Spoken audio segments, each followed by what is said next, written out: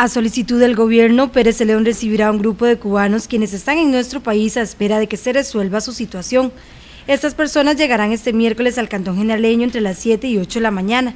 Para dar los detalles se brindó una conferencia de prensa donde se informó de la llegada. Ante esta llegada de los inmigrantes cubanos a nuestro cantón, tanto el gobierno local como las demás instituciones involucradas en el Comité Municipal de Emergencias, estamos actuando en forma solidaria, brindándoles una estadía segura, todas las instituciones del, las instituciones del cantón y los jerarcas eh, debemos estar a la disposición de cooperar en lo que sea requerido de acuerdo a cada una de nuestras competencias.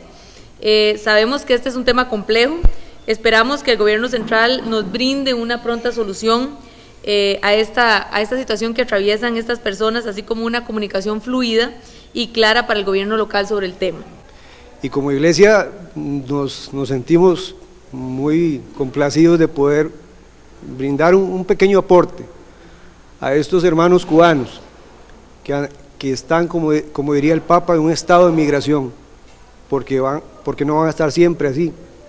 Por el momento están en esa situación y nosotros este, en ellos al final lo que, nos, lo que vemos es un ser humano que como decía doña Vera, este, dejaron su tierra, como un día Jesús también dejó la suya, como muchos de nosotros también hemos dejado las nuestras y, nos hemos trasladado, pero ellos en unas condiciones que no son las mejores. La Comisión Nacional de Emergencias en esta tarde ya desplazó para este sector las espumas, las cobijas, algunos diarios alimenticios y también se está habilitando un crédito en el almacén el 5 menos para la parte que no viene dentro de los diarios, la parte ya de lo que son la mantequilla, el pan para los desayunos, etcétera.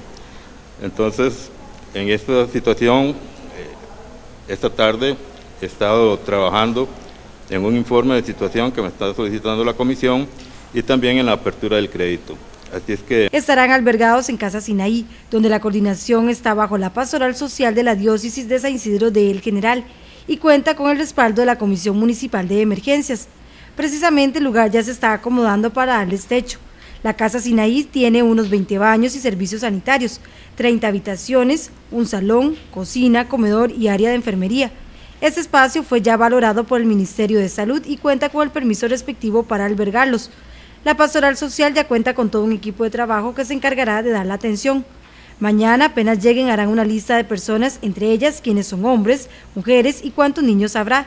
También si alguna de estas personas padece de alguna enfermedad o si requiere de alguna atención especial. Sumado a ello, darán las pautas a seguir, como los horarios de comida, entrada y salida.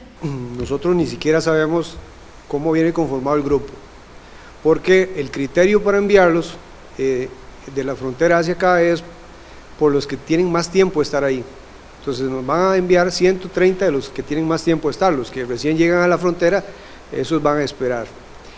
Eh, me parece que el tema de, que don Gilbert fue el que lo tocó del orden principalmente, este, yo, creo que cabe en, todos los seres humanos, ¿no? en este caso no específicamente porque, porque ellos sean cubanos. Este, básicamente es dejar reglas claras, eh, horas de, acceso al lugar, horas de salida, horas de llegada, horas de almuerzo, horas de cena, desayuno. El tiempo que estarán aquí no está definido.